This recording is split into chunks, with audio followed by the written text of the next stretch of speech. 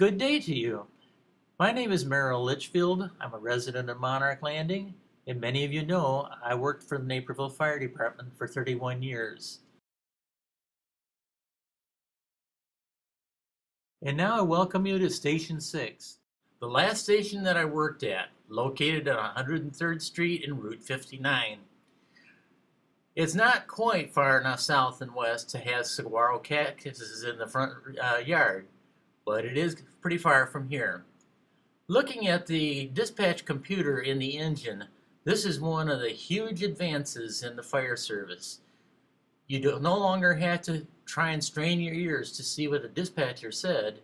You can see it printed out where you're going and what you expect to see. Now, one of the things I did at Station 6 was I had to learn to drive the engine. So uh, why don't we take a, a, few minutes to walk around the fire engine and see what uh, is on it. I already told you that I spent my full-time years working on the ambulance, but it's worthwhile to take a look at a fire engine because the fire engine is the basic working unit, the basic working machine, the basic unit of manpower for the fire department. Now a fire engine is actually driven from two places.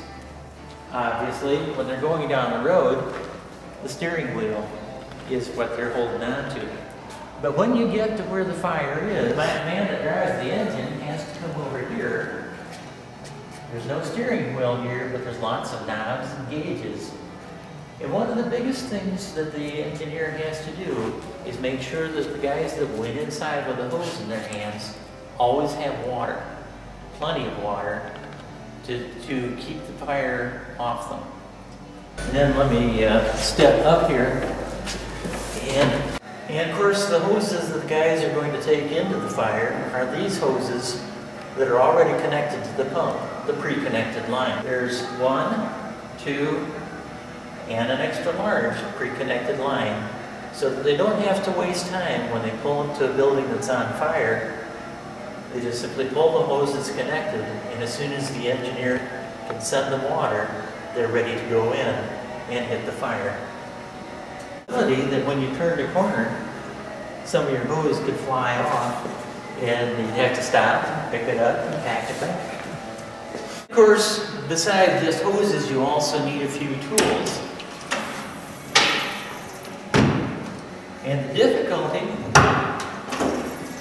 with any fire engine is trying to decide how few tools you can get away with. Because you need a wide variety, and the temptation is to put on, oh, probably about 125 tools and then not be able to find the one you want in the mess. This is what we call the engineer's compartment and it'll have the connection, the connecting adapters and such. Two hoses in, one hose out. More water and possibly more pressure.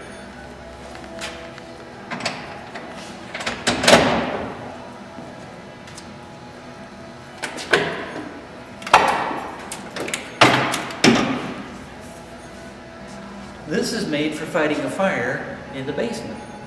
Punch a hole in the floor, connect your hose here, put it down through the floor, and the shower head works on the fire.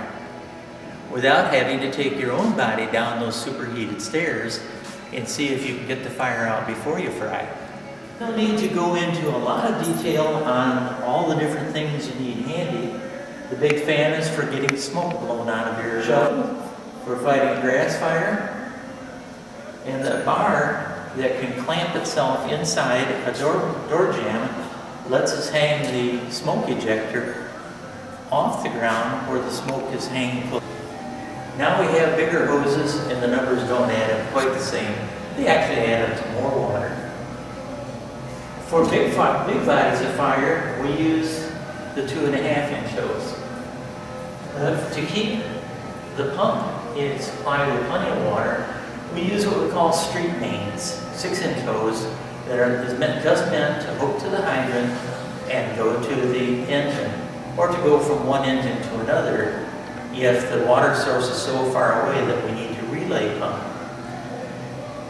We call them street mains because once you put the water in them, they're too heavy to move. You can't pick them up and shove them around.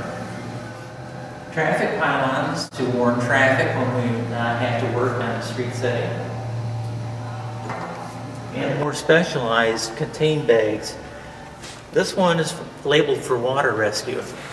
I don't know anymore what it is that they carry in there, but if somebody's uh, in the water and needs to be pulled out, this bag will be pulled out.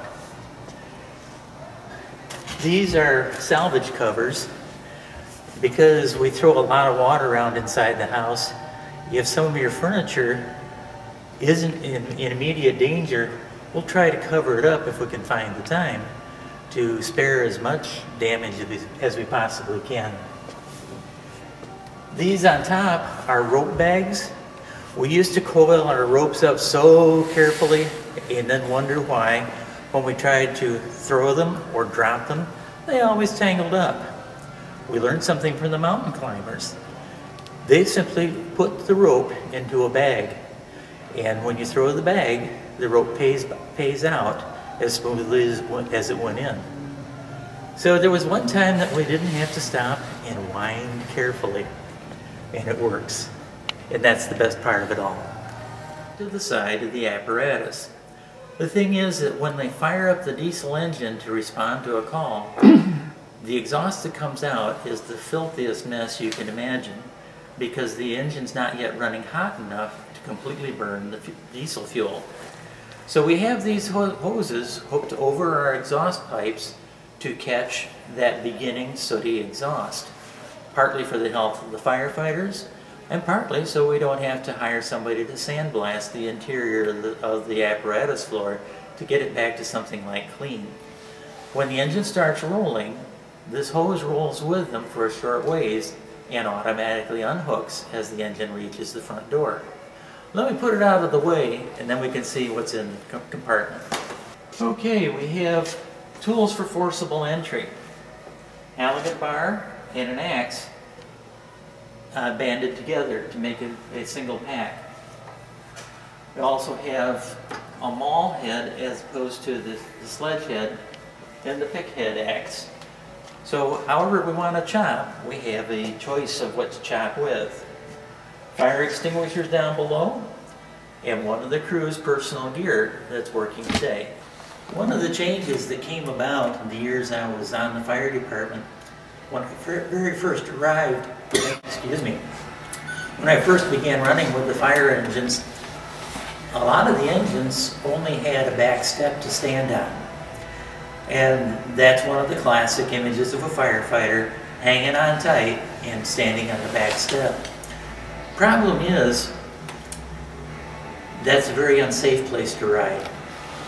And some firefighters have gotten hurt or killed trying to just cling to a, a, a uh, piece of apparatus on the way to a fire. Not only did we add safety belts, but we changed how we designed the apparatus so that instead of a back step, we now ride on the side step. So there's a jump seat here that another firefighter can ride in, but there's one on each side facing backwards with the air pack built into the back of the seat. So as soon as the firefighter dons his gear, gets on board and sits down, all he has to do is clip the, uh, the web straps of the air pack in place and he's ready to jump off and fight fire. But in the meantime, on the way from the station to the scene of the emergency, the firefighter is much safer, much more likely to go home in one piece the following morning.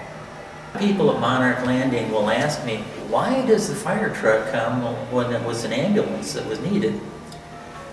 Every fire truck in Naperville has a paramedic on board and a full set of paramedic equipment. No stretchers, of course, but if the ambulance should happen to be out of position, say they've just taken a patient to the hospital, the engine can go to the scene and begin treatment until the ambulance can get there. And if the call is an ordinary one, then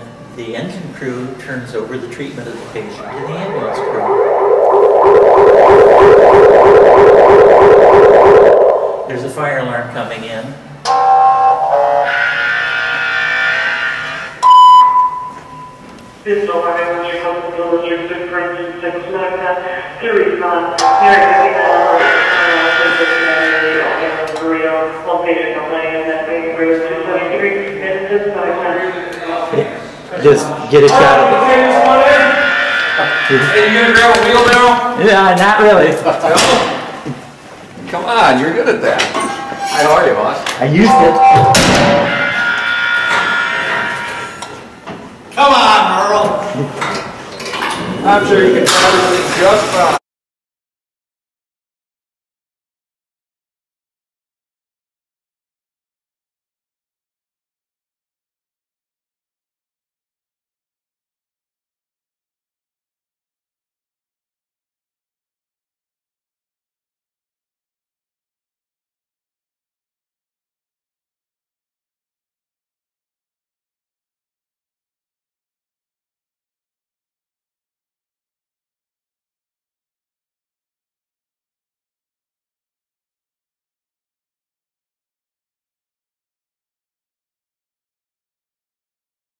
Front, right front seat that I used to be standing next to that just now went on a fire call, that's where the officer, the man in charge sits. He's the one who finds out what they need to do and breaks that down into orders for the men. Thank you for taking this tour with me, visiting the different parts of the Naperville Fire Department. I was proud to be a member for 31 years, and I'm always glad to share some of those experiences